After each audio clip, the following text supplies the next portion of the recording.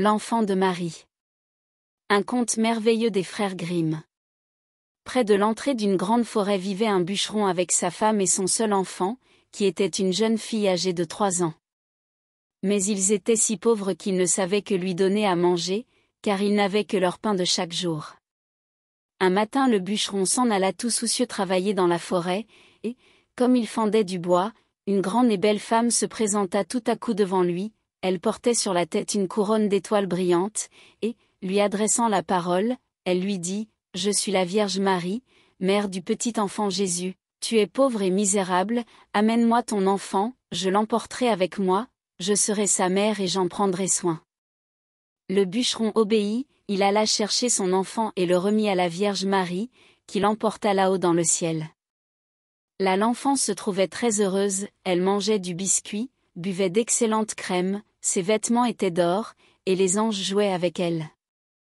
Quand elle eut atteint quatorze ans, la Vierge Marie l'appela un jour et lui dit, Ma chère enfant, j'ai un grand voyage à l'air, je te confie ces clés des treize portes du paradis. Tu peux en ouvrir douze et voir les merveilles qu'elles renferment, mais la treizième porte couvre cette petite clé que voici, celle-là t'est défendue, garde-toi bien de l'ouvrir, car il t'arriverait malheur. La jeune fille promit d'obéir, et, quand la Vierge Marie fut partie, elle commença à visiter les appartements du ciel, chaque jour elle en ouvrait un jusqu'à ce qu'elle eût achevé de voir les douze. Dans chacun se trouvait un apôtre entouré de tant de lumière que de sa vie elle n'avait vu un pareil éclat ni une telle magnificence. Elle s'en réjouit, et les bons anges qui l'accompagnaient toujours s'en réjouissaient avec elle. Maintenant restait encore la porte défendue, elle se sentit une grande envie de savoir ce qui était caché là derrière, et elle dit aux bons anges, Je ne veux pas l'ouvrir tout entière, mais je voudrais l'entrebâiller un peu, pour que nous puissions voir à travers l'ouverture. Oh. Non, dirent les bons anges, ce serait un péché, la Vierge Marie l'a défendu, et il pourrait, bien t'en arriver malheur. La jeune fille ne dit rien, mais le désir et la curiosité continuèrent à parler dans son cœur et à la tourmenter sans lui laisser de repos. Quand les bons anges furent enfin partis, elle pensa en elle-même, Maintenant je suis toute seule, qui me verra Et elle alla prendre la clé. Quand elle l'eut prise, elle la mit dans le trou de la serrure, et, quand elle l'y eut placée, elle tourna. La porte s'ouvrit et elle vit au milieu du feu et de la lumière la Trinité assise, elle toucha légèrement la lumière du bout de son doigt, et son doigt devint couleur d'or. Alors elle eut peur, elle ferma bien vite la porte et se sauva. Mais elle continua d'avoir peur, quoi qu'elle fît, et son cœur, battait toujours sans vouloir se calmer, et la couleur de l'or restait sur son doigt et ne s'effaçait pas, quelque soin qu'elle prit de le laver. Au bout de peu de jours la Vierge Marie revint de son voyage, appela la jeune fille et lui demanda les clés du paradis. Pendant qu'elle présentait le trousseau, la Vierge la regarda et lui dit, N'as-tu pas aussi ouvert la treizième porte Non, répondit-elle. La Vierge porta la main à son cœur, elle sentit qu'il battait et battait très fort, et s'aperçut bien qu'elle avait violé son commandement et ouvert la porte défendue. Elle lui dit encore, En vérité, ne l'as-tu pas fait? Non, dit une seconde fois la jeune fille. La Vierge regarda le doigt qui s'était doré en touchant la lumière du ciel, et ne douta plus que l'enfant ne fût coupable, et lui dit une troisième fois, Ne l'as-tu pas fait? Non, dit la jeune fille une troisième fois. La Vierge Marie dit alors, Tu ne m'as pas obéi et tu as menti, tu ne mérites plus de rester dans le ciel. La jeune fille tomba dans un profond sommeil, et, quand elle se réveilla, elle était couchée sur le sol, au milieu d'un endroit désert. Elle voulut appeler, mais elle ne pouvait faire entendre aucun son, elle se leva et voulut se sauver, mais, de quelque côté qu'elle se tourna, elle était arrêtée par un épais taillis qu'elle ne pouvait franchir. Dans le cercle où elle était ainsi enfermée se trouvait un vieil arbre dont le tronc creux lui servit d'habitation. La nuit elle y dormait, et, quand il faisait de la pluie ou de l'orage, elle y trouvait un abri. Des racines, des baies sauvages étaient sa seule nourriture, et elle en cherchait aussi loin qu'elle pouvait aller. Pendant l'automne, elle ramassait les feuilles de l'arbre, les portait dans le creux, et quand la neige et le froid arrivaient, elle venait s'y cacher. Ses vêtements s'usèrent à la fin et se détachèrent par lambeaux, il fallut encore qu'elle s'enveloppât dans les feuilles.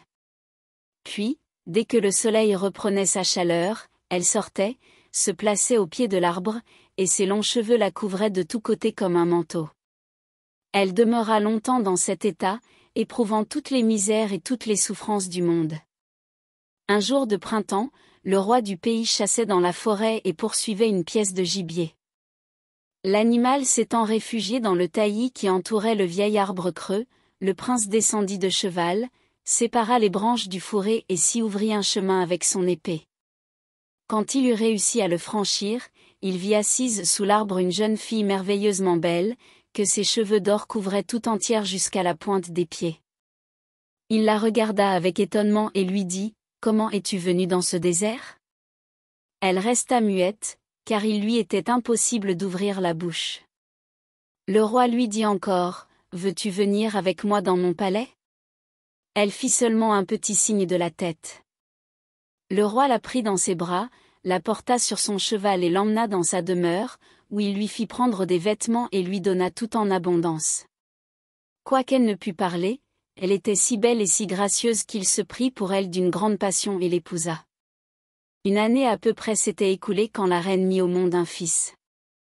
La nuit, comme elle était couchée seule dans son lit, la Vierge Marie lui apparut et lui parla ainsi, Si tu veux enfin dire la vérité et avouer que tu as ouvert la porte défendue, je t'ouvrirai la bouche et te rendrai la parole, mais si tu t'obstines dans le péché et persistes à mentir, j'emporterai avec moi ton enfant nouveau-né. Alors il fut permis à la reine de répondre, mais elle dit, Non, je n'ai pas ouvert la porte défendue. Et la Vierge Marie enleva de ses bras son enfant nouveau-né et disparut avec lui. Le lendemain matin, quand on ne trouva plus l'enfant, un bruit se répandit parmi les gens du palais que la reine était une ogresse et qu'elle l'avait tuée. Elle entendait tout et ne pouvait rien répondre, mais le roi l'aimait trop tendrement pour croire ce qui se disait. Au bout d'un an la reine eut encore un fils, la Vierge Marie se présenta de nouveau la nuit devant elle et lui dit, Si tu veux enfin avouer que tu as ouvert la porte défendue, je te rendrai ton enfant et je te délierai la langue, mais si tu t'obstines dans ton péché et continues à mentir, j'emporterai encore ton nouveau-né. La reine dit comme la première fois, Non, je n'ai pas ouvert la porte défendue. Et la Vierge lui prit dans ses bras son enfant et l'enleva dans le ciel. Le matin, quand les gens apprirent que l'enfant avait encore disparu, ils dirent tout haut que la reine l'avait mangé, et les conseillers du roi demandèrent qu'on lui fît son procès. Mais le roi l'aimait si tendrement qu'il n'en voulut rien croire et qu'il ordonna à ses conseillers de ne plus reparler de cela sous peine de la vie. La troisième année, la reine donna le jour à une belle petite fille, et la Vierge Marie lui apparut encore pendant la nuit et lui dit, Suis-moi. Elle la prit par la main, la conduisit dans le ciel et lui montra ses deux premiers-nés qui lui souriaient et jouaient avec le globe du monde.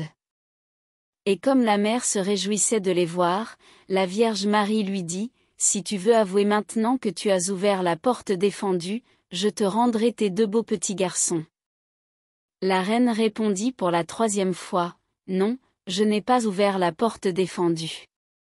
La Vierge la laissa retomber sur la terre et lui prit son troisième enfant. Le lendemain matin, quand on ne le trouva plus, chacun dit tout haut, La reine est une ogresse, il faut qu'elle soit condamnée à mort.